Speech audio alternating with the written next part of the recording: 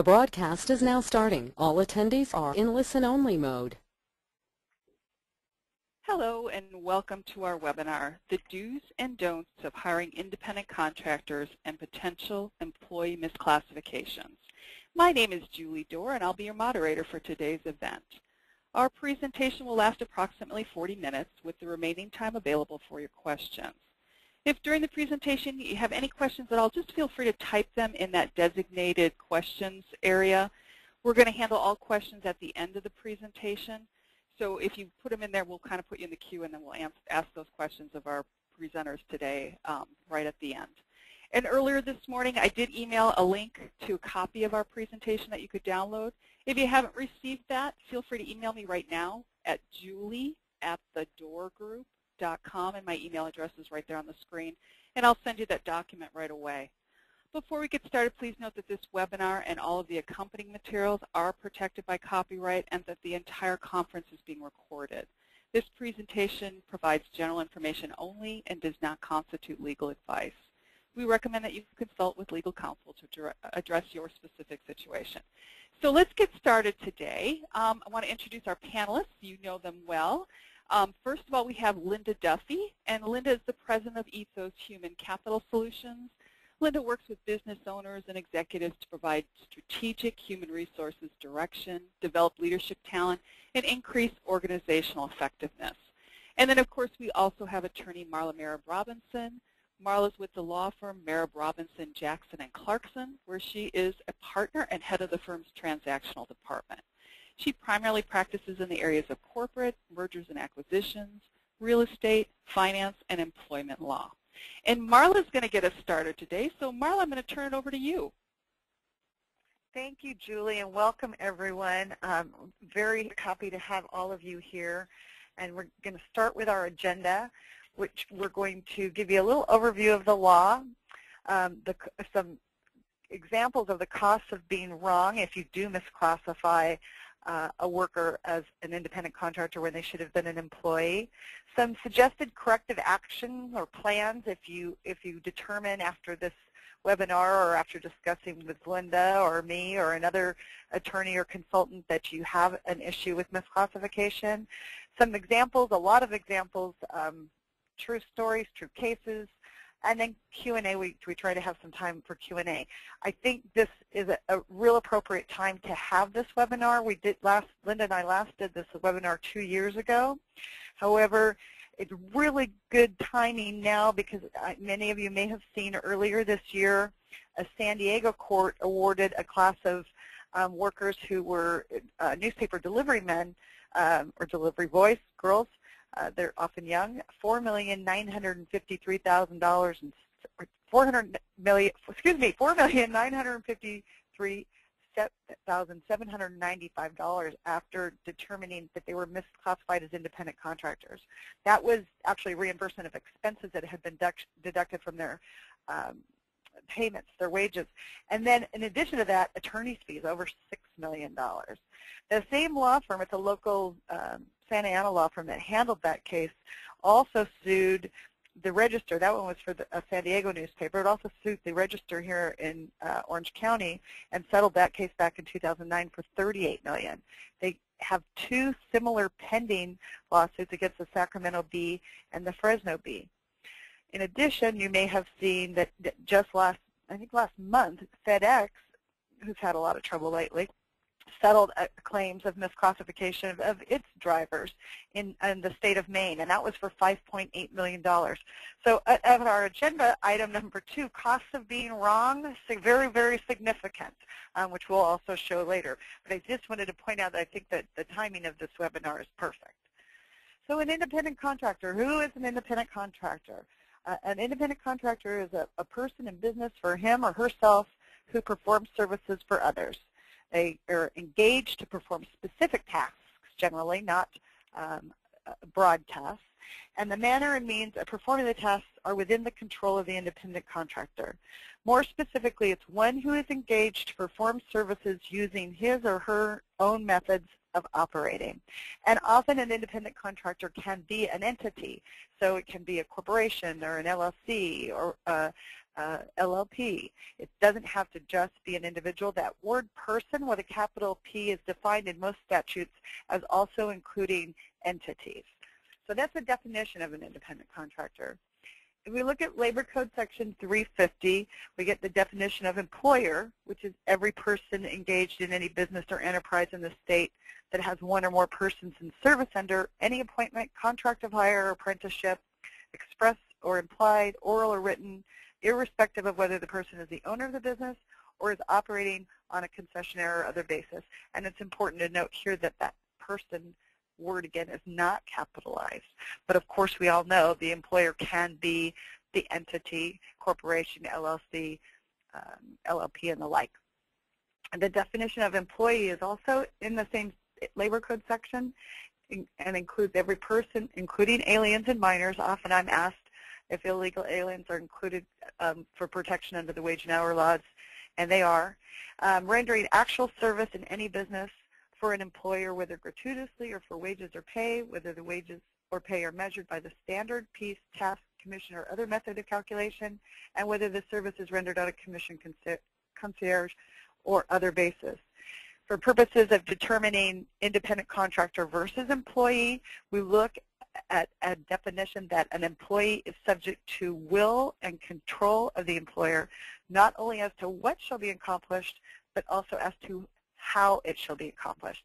And as you'll see as we go through this, these are very um, gray terms and not well defined in black and white, which makes the, the uh, investigation as to whether or not someone is an independent contractor or an employee very factually intensive on a case-by-case -case basis. So our next slide, examination of contractor status. Who determines independent contractor status? This is probably the biggest battle I have with my clients and potential employers who um, seek out advice regarding misclassification. I'm very often told, I have a written contract with this individual. It says this individual is an independent contractor. He or she wants to be an independent contractor. I want him or her to be an independent contractor. Well, unfortunately, the parties that are contracting don't get to decide for themselves The parties that do get to decide are those you see on the right of the slide, and that's the EDD, the IRS, the FTB, Franchise Tax Board, for those of you who don't know, the Department of Labor, both the federal department and the California Labor Commission, which is the Division of Labor Standards and Enforcement, the INS, and the Workers' Compensation Appeals Board. These entities have the ability, as well as the courts, to determine whether the worker is an independent contractor or an employee, and they don't look to the intent of the parties. It doesn't matter if the parties intended for independent contractor status. What matters is the tests that we're going to go over. Linda is going to go over in detail after I go through them in, in general terms. That the, the point here is to note that the courts and the legislature and the administrative bodies that are listed there have not set specific universal standards everything is done on a case-by-case -case basis that's factually intensive in investigation.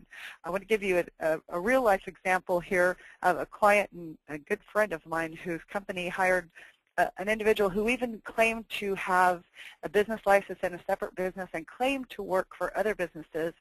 Um, they hired this individual as an independent contractor, had an independent contract agreement that she provided to them.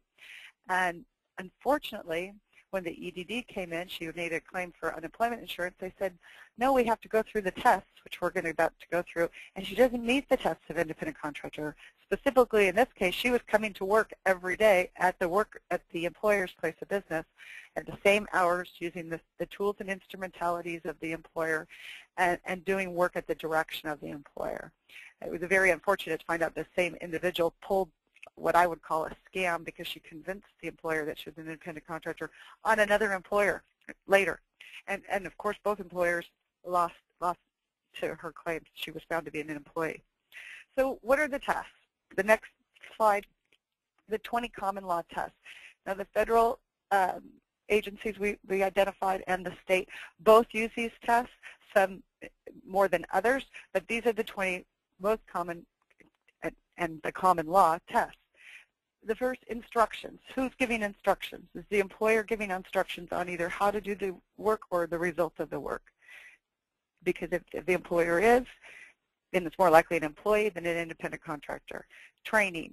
If the employer, or, if, if you prefer to use the term hire, um, but it's still an employer even if the worker is an independent contractor. But if the employer or hire is, is providing training, that's a, that leans more towards an argument of, of an employment relationship and an employee. Integration with the current workforce, that leans towards an employee.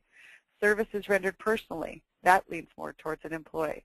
Not necessarily absolutely an employee, because I can, I can give an example of an uh, independent contractor who provides services personally. For example, I have a CPA who comes into my firm uh, two days a week and performs accounting services. But she also owns her own business and performs those services for others. She doesn't work at my direction and control. She actually can come in any two days she wants. She knows how to do accounting without my training. She's not integrated into my, my employment force. So all of these things bear on the determination Again, hiring, supervising, and paying assistance. If, if the independent contractor has, the, if the worker has the ability to do that on their own, then they're more likely to be held to be an independent contractor than an employee, because employees don't generally have the right to do that. A continuing relationship, that's generally a sign of an independent contractor because it's, the relationship usually lasts until the job is done. With an employee, as you all know from our prior webinars, we work hard to keep that at will, meaning we can terminate you at any time. Contractors generally don't get terminated until the work that they were hired to perform is done. Um, set hours of work and full-time required. Uh, if they, they have the ability to set their own hours, that's indicative of an independent contractor. If they're required to work full-time, that's going to lean towards supporting an argument that it's an employee. Doing work on employer's premises, that's going to lean towards an argument that it's an employee, as I said in my example. Order or sequence set, if, if the employer is dictating the order of how the work is performed, then it's more likely going to be an employee. Oral or written reports, generally this is going to be leaning towards an employee, but oftentimes independent contractors are also giving reports based on what's been completed because they often get paid on completion of work performed. I'm hoping as we're going through these that you're getting the gist that it's very factually intensive investigation on each potential classification. Payment by hour, week, and month, that's generally you pay your employees either by hour or biweekly or, or, or monthly. Independent contractors are generally paid either monthly or upon completion of certain work. So that we look at those terms to see where we're leaning. Payment of business and or traveling expenses, that actually falls on both. Employees are, are required by law to re receive reimbursement of expenses. Um, independent contractors often maintain their own, but will also sometimes be um, reimbursed depending on the industry that they're working in. Furnishing of tools and materials, this is a big one. Uh, independent contractors provide their own tools. Uh, employees are, are provided the tools, and that includes office space. Um, we call them tools and instrumentalities of the employer. Uh, I have a, a client who is in the construction business and thought that all of their workers were independent contractors, but they were because they were bringing their own tools.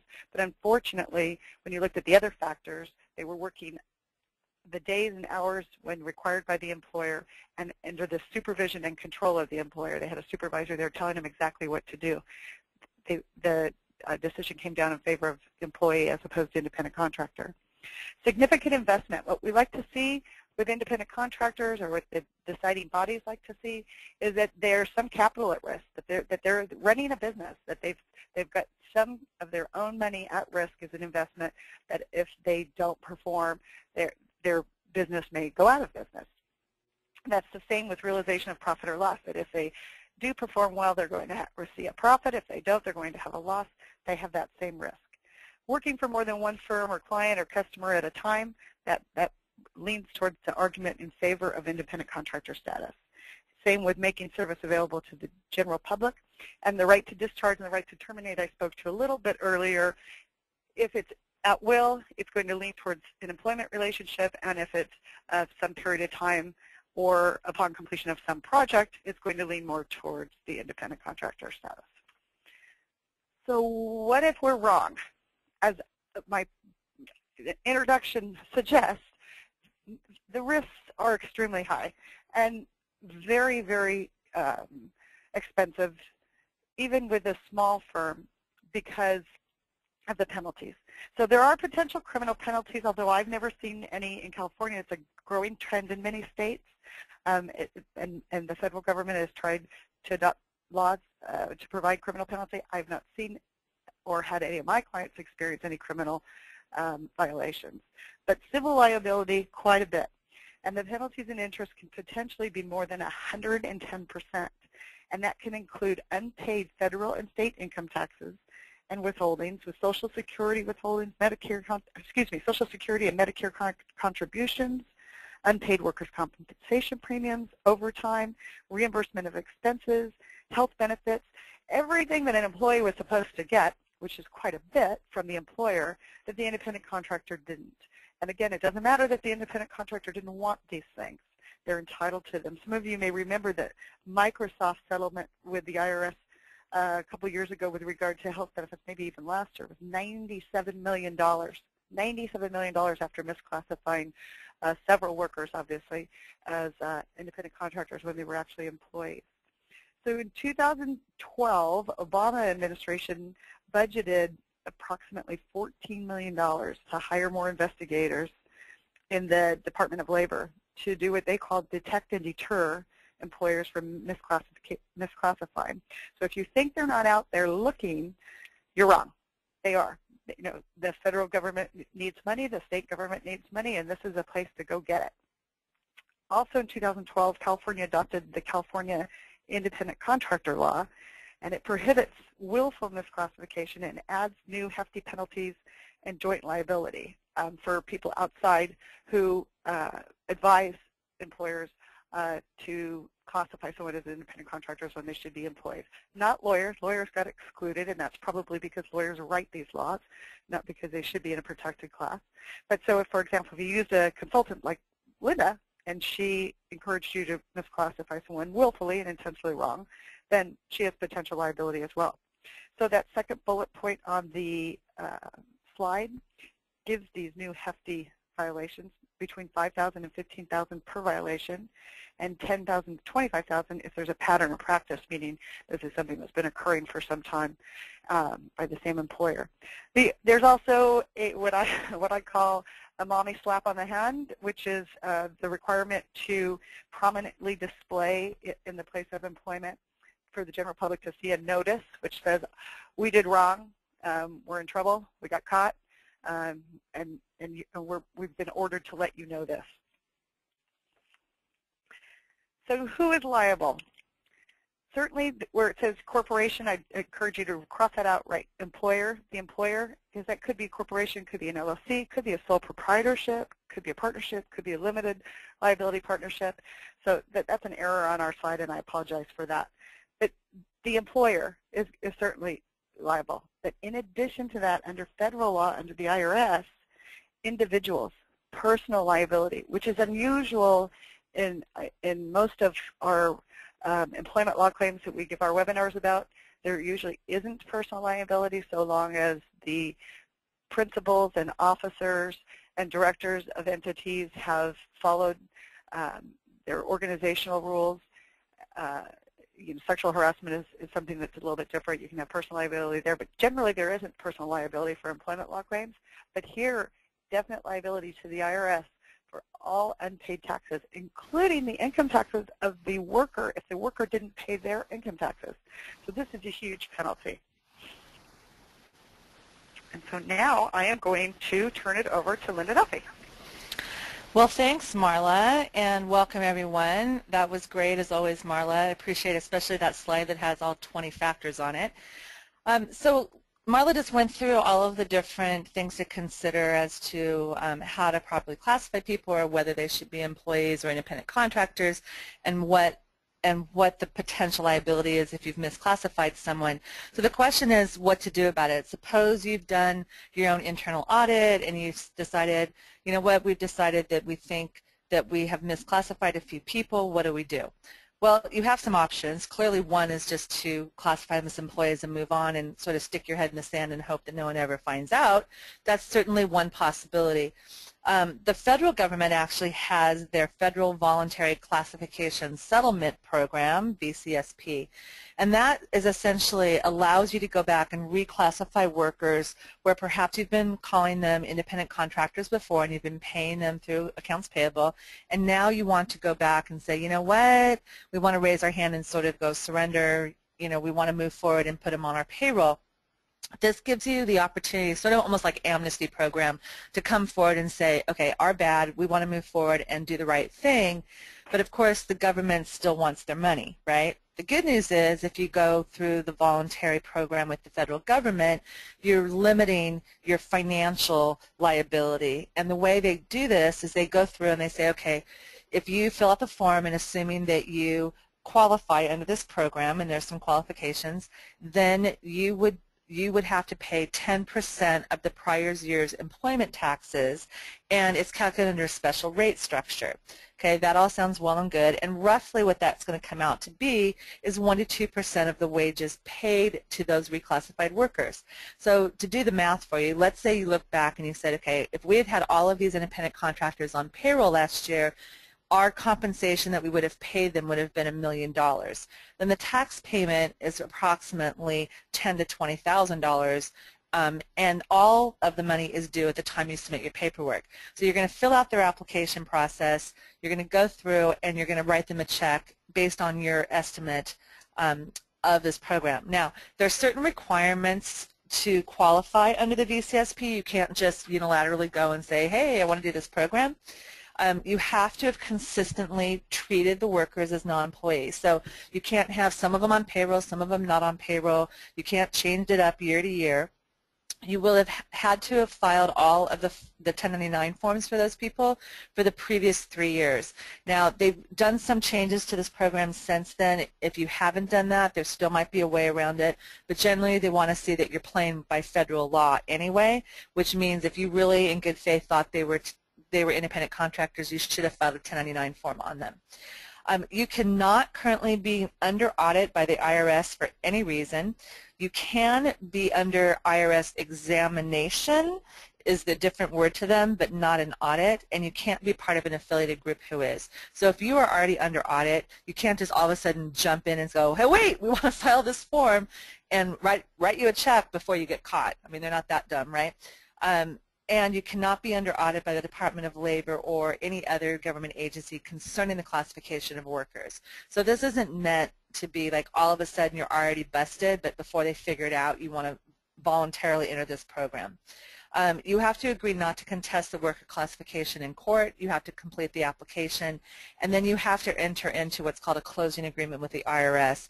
And this means that you are basically promising that going forward you're going to treat this class of workers as employees. So you can't fill out the form, do it, and then next year go back and have them as independent contractors. And then as I already mentioned, you have to pay the full amount due under that program when you submit that closing agreement. So I misspoke earlier, I said the application, but the closing agreement part.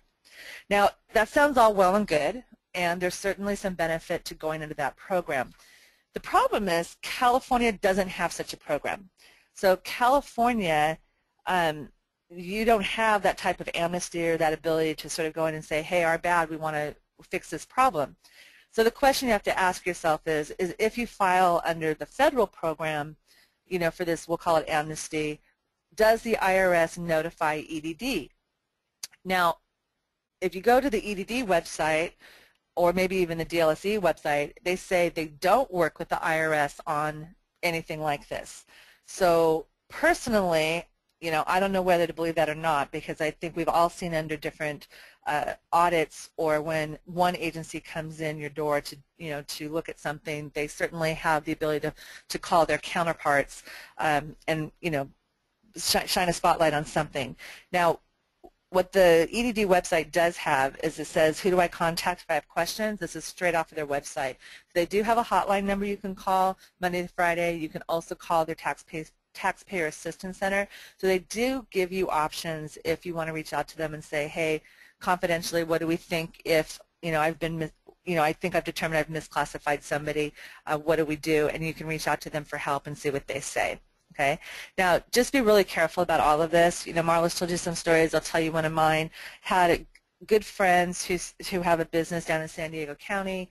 They had hired someone or or engaged someone, I should say, to transcribe tapes. So they do a lot of seminars and um, other public live events. They often tape record them. They want them transcribed. Um, they so they engage someone. They never met the woman and you go back through Marla's list of 20 things, never met the woman, didn't provide her with any sort of equipment, she didn't come on their premises, they didn't tell her how to transcribe the tapes, they, you know, you just go down the list, and it, they were paying her a flat fee, I think, per tape. They weren't even paying her, like, by the hour. Um, the woman would, had a full-time job working for somebody else, doing something else, um, and when happened was she was laid off from her full-time job and when she went to file for unemployment, there's a question on the form that always says, okay, who was your last employer?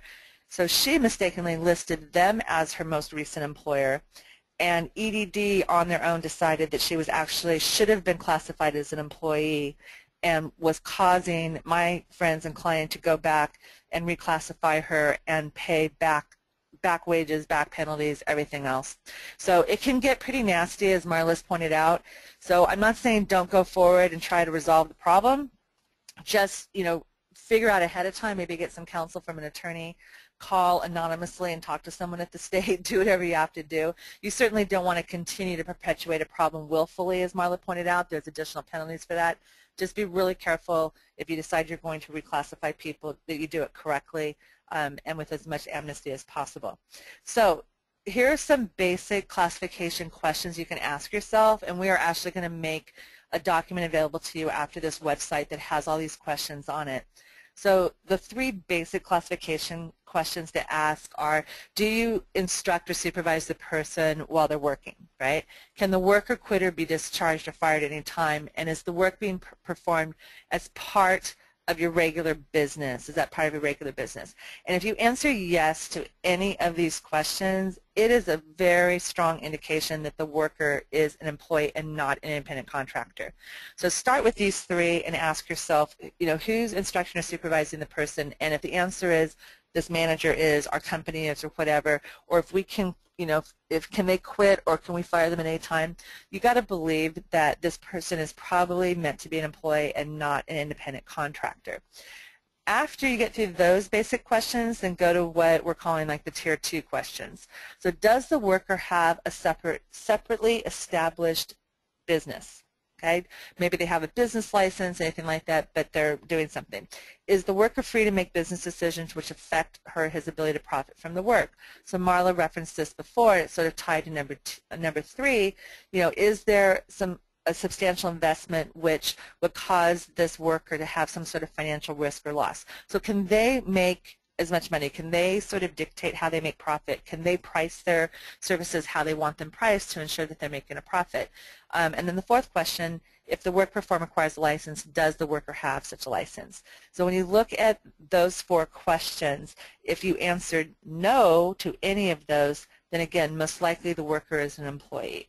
So if you're talking about somebody that has their own business, they're establishing their own pricing, um, they have a license maybe to do the work, then you're probably okay in having them as an independent contractor.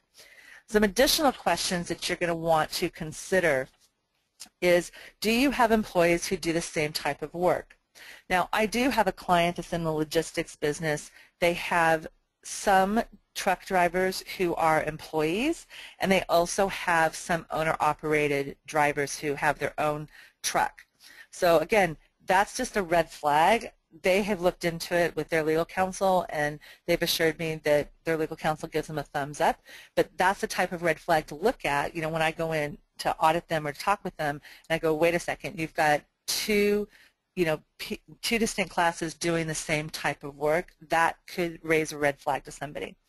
Um, do you furnish the tools, equipment, or supplies used to perform the work? Marla mentioned this one before. Um, is the work considered un unskilled or semi-skilled labor? Because again, usually you're hiring independent contractors to provide their expertise. You know, you don't, for example, you might engage me to come in as an independent contractor. I have my own business, a business license, the whole thing. I'm a corporation. Um, you wouldn't necessarily hire an HR clerk to come in and sit down at a desk and actually do, you know, processing transactional level work. Um, do you provide training for the worker? If you have to train the worker, again, they're not, they're not bringing their expertise to the table. Uh, did the worker previously perform the same or similar services for you as an employer? this one actually comes up a lot. I've had employers or clients that come to me that say, yeah, you know what, this person just left, but we're going to bring him back as an independent contractor. You know, he left us, he went to another job at another employer, but we're going to um, put him on an independent contractor agreement. And I'm like, nope, that's not really the right way to handle it. So again, if they have some level of expertise, if they're a high-level individual, you might be able to get away with it under certain circumstances. But what I tell them is just leave them on payroll as a part-time employee or as as-needed employee. That would be the easier way to do it. Um, so again, if they were an employee today, tomorrow they're probably not going to be an independent contractor. Um, does the worker believe that she or he is an employee? So you ask yourself that, like what is their understanding? Because again, like in the example I gave you with my friends, maybe that woman thought she was an employee. Maybe she thought she should have been on, you know, on payroll so she could collect unemployment. Don't know, but you need to make that really clear. And then is the worker eligible for any benefits? Clearly employees are eligible for benefits, independent contractors are not, and so you want to make sure that you're not offering them any benefits. And that's even gone some so far sometimes, and Marla might know some case law on this, but that's even things like inviting them to company functions, company parties, all sorts of stuff. Okay, so let's just look at some quick examples, and I don't have to read through all of these um, because they're all written out for you, but um, you know, here are some examples of where things might be similar on the surface, but are different how they treat them. So an independent contractor example for an attorney or accountant is somebody has their own business, they advertise somehow, Yellow Pages, website, whatever, under attorneys or accountants. They bill clients by the hour. Um, they're engaged by job or maybe have an annual retainer, they can hire a substitute to do the work. They don't have to personally do it. That person is probably an independent contractor. But then you look at an attorney or accountant who actually is employed by a firm to handle the legal affairs or financial records, works in an office at the firm's place of business, attends meetings, that type of stuff. That's probably an employee. And that could be an employee of the law firm or accounting firm, or it could be somebody in-house at a corporation. Okay, the next example is an auto mechanic. You know, there'd be a difference. An employee would be an auto mechanic who's actually working at somebody else's shop, and they're probably getting an hourly rate, or maybe they're paid per diem or something. Um, but the, the auto shop is telling them when they show up, they're providing tools and equipment, they're telling them, you know, how to keep records of their time, they're giving them instruction, maybe some training, as opposed to the independent contractor who has a station license, um, a resale license, they buy the parts, they set their own prices, they do all the collections from customers, um, all of that. That would be an independent contractor example. Okay, example number three, a dance instructor. Um, if you're working inside a health club, working for somebody else, you're going to be an employee they're going to, again, they're going to dictate the hours. They're going to have you show up, yes, and do the work for them, um, but the instructor is going to be paid by the uh, health club in this particular example um, themselves.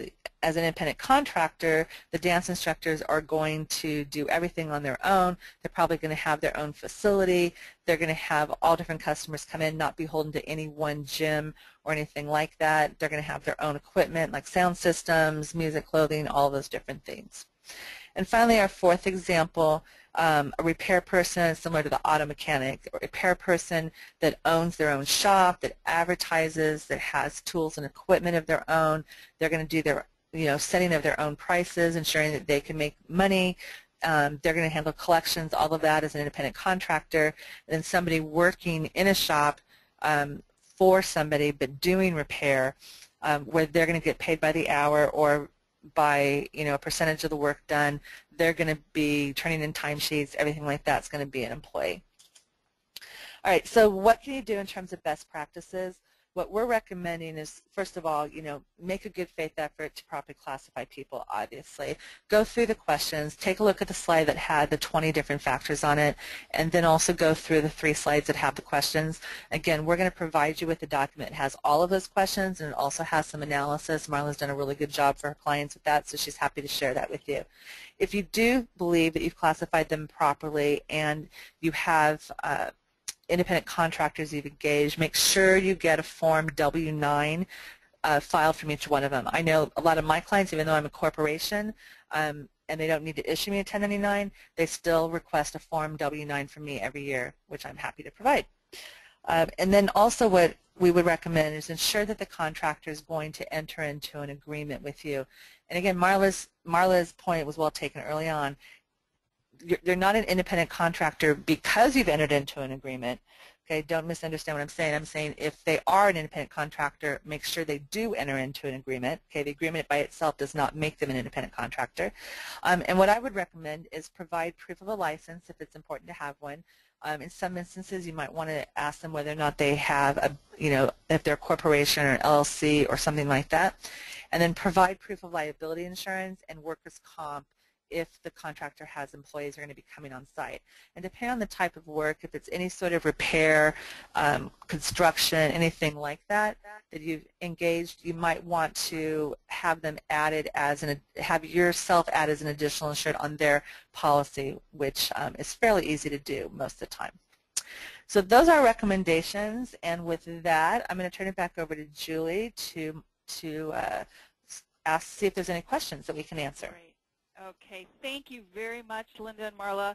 You know, every time I hear this webinar, I think, oh, gee, I have a situation that uh, I am not classifying an employee or handling an independent contractor quite the right way. So thank you for sharing all of that. Um, that does conclude the webinar presentation portion, and now we'd like to spend some time uh, asking or answering some of your questions. The way you submit a question is by using, and I see some of you already doing that, use the question uh, portion of your dashboard.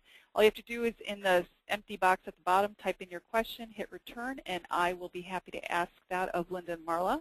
And you may also, if you choose, email the questions directly to me, julie at thedoorgroup.com. So let's start with one here from Jennifer. Um, and I think you covered this, Linda, but I just want to make sure we've got the right uh, answer here for Jennifer. Um, she has an employee, uh, maternity leave, wants to stay home, uh, be more at home with mom and have more flexibility with schedule, wants to go from full-time employee to independent contractor, which Jennifer's okay with.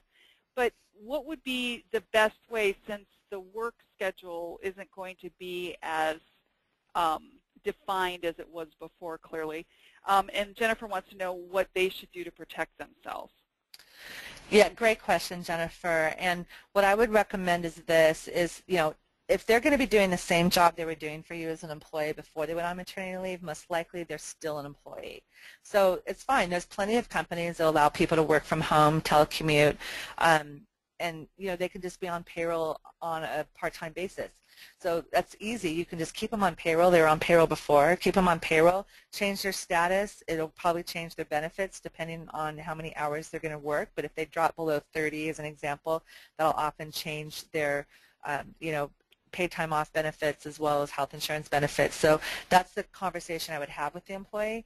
But I would just, if it's okay with you guys to have that person work from home, I would I would, you know, issue them whatever status change type form you use, a new offer letter, whatever you want to do, um, and spell out for them how it's going to affect their benefits and leave them on payroll.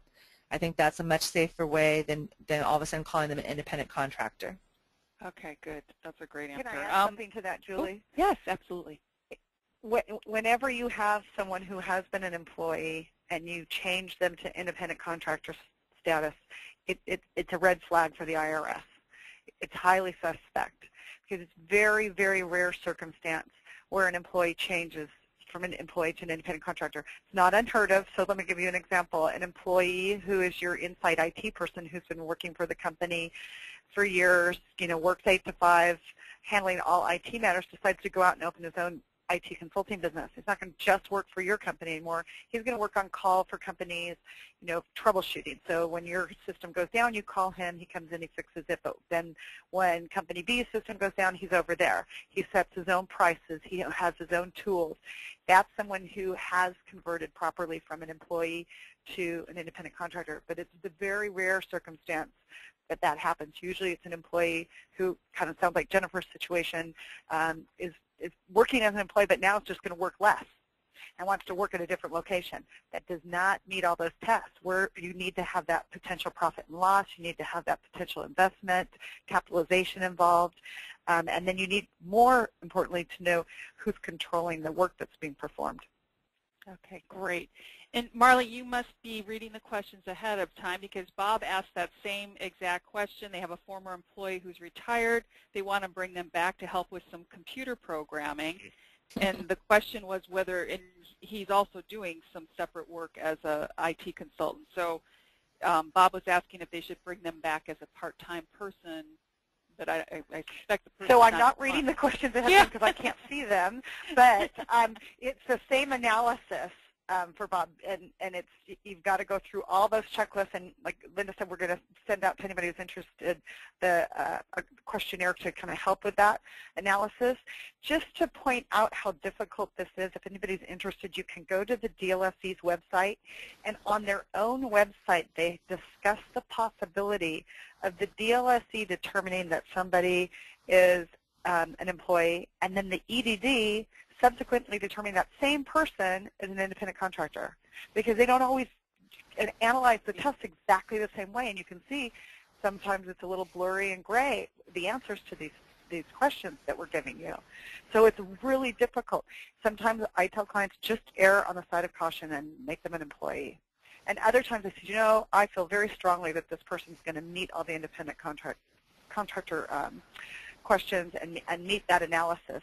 But it, it can be a significant and extensive analysis sometimes, especially if there's a lot of them. But I do want to point out to everybody that most of my employers do not misclassify willfully. As Linda and I both talked about the California independent contractor law. Most of my clients, it's an honest mistake. They're not trying to avoid paying taxes. You've got an employer and a worker who want it to be independent contractor, a lot of times they say that that's what they think that means is that the other person gets to control um, the hours that they work. And it's more than that. It's not just hours. It's all those factors. But most people don't make this mistake intentionally. Some do, but most Yeah. don't. We've learned our lesson, I think, over the years. um, Yuki's got a question here, and I'm assuming, Yuki, this is for uh, the independent contractors, um, is asking, can we require a non-compete? And again, I'm assuming that's for independent contractors. Not in California. Okay. Non-competes in California are only enforceable if they're given in connection with the sale of a business or the sale of an interest in a business. And the sale of an interest in a business has to be enough to have also sold goodwill. Now, that doesn't mean you might not have trade secrets that you can um, get the uh, uh, independent contractor and the employee not to use after the, the work has expired. So if your customer list rises to the level of a trade secret, which is really difficult now with the internet, but if it does, and some do, or if you are the holder of the formula for Coca-Cola, which used to be a secret, um, you can still prohibit workers of any kind from using that, or, and anybody else for that matter, from using that information. Okay, good. Thank you. John's got a good question here. Can an employee also be a 1099 independent contractor relationship for different work being performed by the same employer? Yes, but again, red flag. So make sure, when I say red flag, just make sure that you're very confident that on the independent contractor side they can do that. So let, let me use my example of the IT guy who goes out, starts his own business, has his own trucks, has his own tools, has his own employees and assistants. That was remember that was one of the tests.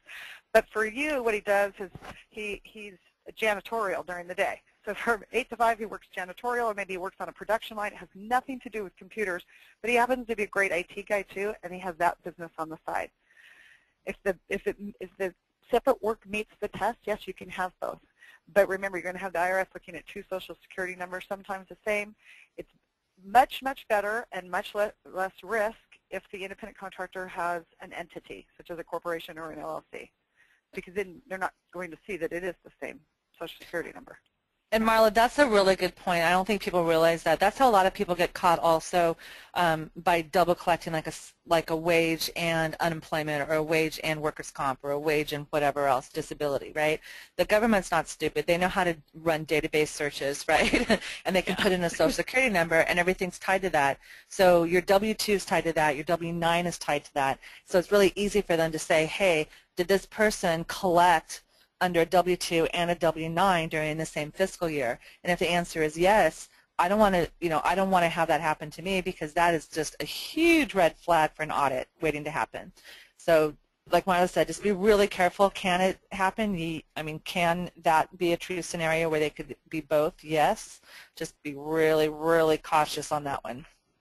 Okay, good. Thank you. And B has a good question about how to deal with temps. And the treatment of them. You know, she's working with a staffing agency, and you know they include temps and company picnics and you know company events type thing. But moving forward, does that blur the line, and should they not include the temps? I don't think it's a, this the same situation, me personally, um, because temps are actually workers. You're paying them a wage. I mean, you're not paying them as independent contractors. So I think it's a little bit different. I didn't mean to scare anybody off of inviting their temporary staff over. Um, you know, there's a whole separate issue that Marlon, maybe we should think about you know, talking about a future webinar about uh, joint liability situations in California, um, because a lot of times, you know, people think, oh, I'm going to get temps through an agency because then it's it's going to be their liability and not mine if something happens. Um, there was recently OSHA came out and I don't hold me to exactly quoting this, but the gist was OSHA came out and said, you know, if somebody gets hurt on your premises while they're at work, it's pretty much you have to list it on your OSHA 300 log, even though they're through a temp agency, because for the most part, unless you have a large enough contingency staff where you have a manager from the agency on site to manage that team, they're taking direction from your managers on your team. So it's a different question with a slightly different answer, but no, I think it's fine to invite your temps to participate in everything at work. Okay, good. Anything to add to that, Marla? No, I agree 100%. Okay, good. Vicki has a question. She once had um, exempt employees in, house, in a house cleaning business. And as a result, she provided the cars, the materials, the training, the cleaning supplies, and then changed them over to independent contractors where they had to provide their own transportation, chemicals, and she did no training. Um, is and then she said, I provided the clients they already serviced as an EE. With this info, was this done correctly? So, so probably I'm, not. Probably I, not. I, I would want to do more analysis, but probably not because again, it's the same work that was being done. My guess is that she was setting the hours of when they were going to go to client A and client B. If she had just given them a list and said, okay, you set your own time to go to client A's and client B's, and you and we'll, all we will do is collect the money for you, take our cut for for making the introduction. Then maybe that we see that a lot. I think Linda gave the example of uh, a teacher. We see that a lot with teachers and musicians. If if, if the instructor has the ability to set their own schedules and to set their own fees, um, then the other, the other party is merely just collecting those fees, servicing the fees, and then you know taking their cut for introductions, then we actually have an IRS opinion letter that that is independent contractor status. But if if you if the um, person who asked the question was setting the hours and, and setting the schedules and saying this is where you you know you're going to go see client A on Monday, you're going to go see client B on Tuesday, then probably not. Okay, good. All right, thank you. And Claire has some questions here about the inconsistencies between the different, you know, federal entities that would be the ones making the, the changes and, and classifications. So if one Fed entity might determine or rule differently than the other, what is what are they to do? What's Claire to do if they don't agree? That's a great question, Claire. It's a really great way to end the thing to show how um, it, it's a, a, difficult thing. I have personally, and maybe Linda, you can um, address this. I have never had a client who had a, a different ruling from from different entities. The example I gave was actually two state agencies, not Fed and state. Um, I would suggest you sit down with your lawyer because every one of these things requires, again, extensive analysis um, to make a determination, especially the, the part that Linda spoke to about the, the, you know, doing the voluntary settlement. Um, I think you need, to look at the risk of, of what if the, the EDD, you know, and look at, when I say look at the risk, look at the numbers, what, what numbers are you talking about? But that, that's a good point. Again, this is an area that you know, you have to kind of take it as it comes. But what do we do if the IRS says it's an employee, or we're more fortunate, the IRS says it's an independent contractor and the DLSE says it's an employee? You know, you, you have to go with what's more protective of the worker, and that's going to be employee. Okay, great. Um, Brenda has two different scenarios, and I'm going to cover each one, you know, let you answer the first one first, and then I'll cover the second one. Um, first, they did a layoff earlier in the year, and they laid off two IT individuals. Why do these things always happen with IT people? we opened, then she opened a new business and brought back these two individuals as contractors, and a contract was provided to them. But they're sitting in their previous desk office. They're directing employees, approving employee timesheets, and typically come into the office every day. This is an employee, right?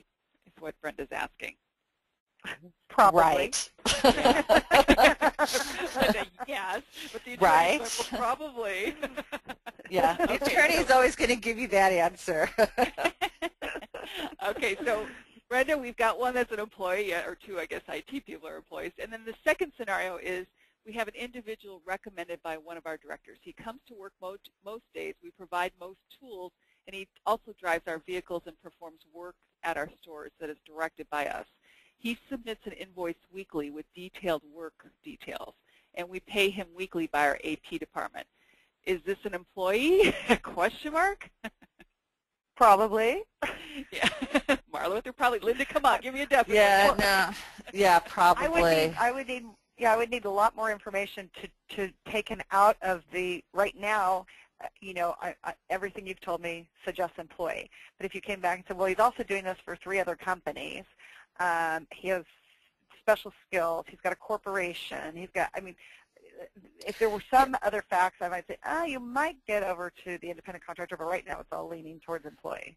Right. Let me give you another example, okay? When I first started my business, I did some work for a company where I was, um, they basically were outsourcing their recruiting efforts for me while they were looking for a recruiting manager, which I was actually hiring. So I was doing the recruiting as I was hiring them a recruiting manager at the same time they didn't have to provide me with tools, an office, any of those different things. I could have done the work from home.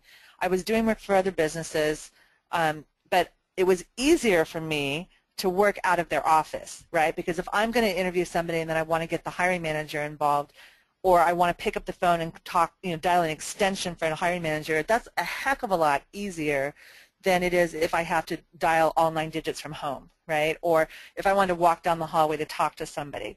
So I'm comfortable that I was working as an independent contractor. I was setting my own hours. I, you know, I had the list of openings and I was doing that work. So even though I was on site and I was, you know, once in a while participating in a meeting or something like that, it's a completely different thing than had I been there with somebody telling me what to do and I'm reporting into the, you know, VP of HR every day or something like that. So you got to take a look at the circumstances entirely. I think that's what Marla's point has been all along. You know, it's not one of those 20 factors on that sheet. It's you have to take a look at all of them. And there's a, unfortunately no test where you can say, oh, well, if you have this one factor or this combination of factors, then you're fine, because it is gray gray area. It is subject to interpretation. Okay, good. And again, uh, for all of you listening in, don't hesitate to email either Marla or Linda with these questions if we're not getting into enough detail for you today. Um, again, all their contact information are in the slides.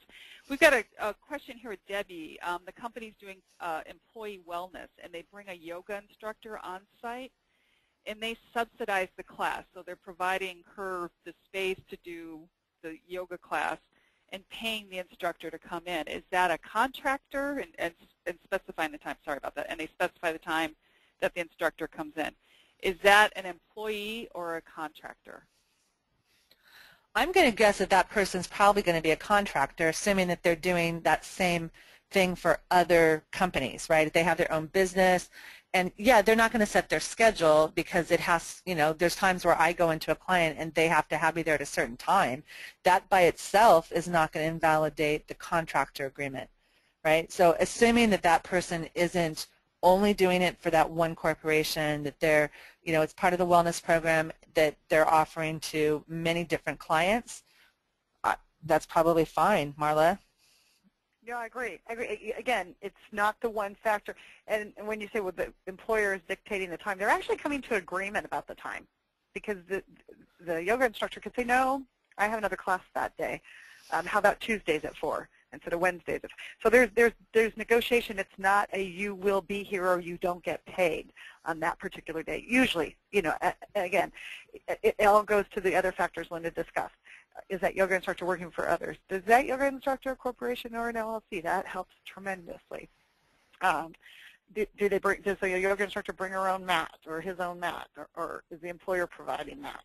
Uh, what about music? What about training videos? Are they using any of those things? And if, if so, who, who owns them?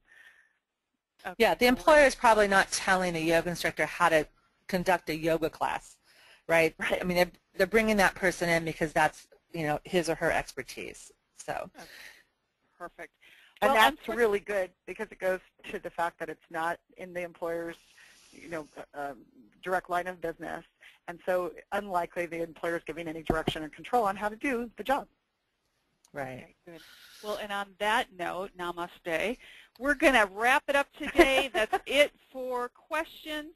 Um, Linda, we have a list of the webinar schedules yep. up here. Do you want to just really briefly, we made a little switch. Can you maybe explain yeah. what's going to happen Absolutely. Here? So if you look back through prior webinar um, handouts, uh, we did make a change. We changed August and September. We flip-flopped them to accommodate our guest speakers. So just make a note of that. So we're really excited. Next month, August 14th, so that's actually, seems like it's going to be very quickly, um, we're going to be talking about immigration law. And this is a new topic for us. And so we brought in an, an, an attorney that actually specializes in immigration, Greg Berg, who's a partner with Carothers DiSante, and Freudenberger. So we're very excited about that, um, August 14th. And then uh, September 25th, I believe Tim did uh, a webinar for us a year or two ago. We're going to be talking about background checks. This is something that's just come up recently for me over and over and over again with clients. So what should you be doing in terms of background checks? What legally can you be doing in background checks? Um, what kind of policy do you need to have? Um, with regard to background checks. Can you have policies? The answer is no, but can you have policies that just say we don't hire anybody that has a felony conviction, um, things like that. So that's what we're going to be talking about. October we'll talk about drug testing because there's a whole bunch of issues around that, medical marijuana laws, everything. And then in November, um, one of the tried and true favorites that we have just a ton of people um, on this webinar is about disciplinary action and terminations. Great. Well, thank you again for joining us. Again, we highly invite, you know, highly recommend that you contact Linda or Marla with other questions. I know you have, you know, more specific scenarios and things that you might want to run by them, but again, you've got not only the HR professional, but the attorney that would certainly be able to help you with any of these uh, uh, classification kind of issues. Um, and then, of course, uh, we do have a link here uh, for you to go ahead and save the date. So again, with all of our webinars, you can go in and click and reserve a spot. Um, we have limited seating for these webinars, and they're gaining in popularity, so please go ahead and sign up ahead of time. And then on behalf of Linda and Marla, I'd like to thank all of you for joining us today. We certainly appreciate, appreciate your time and your attendance today, and we look forward to presenting more of these to you in the future. Thank you very much. Have a great day. Thank you.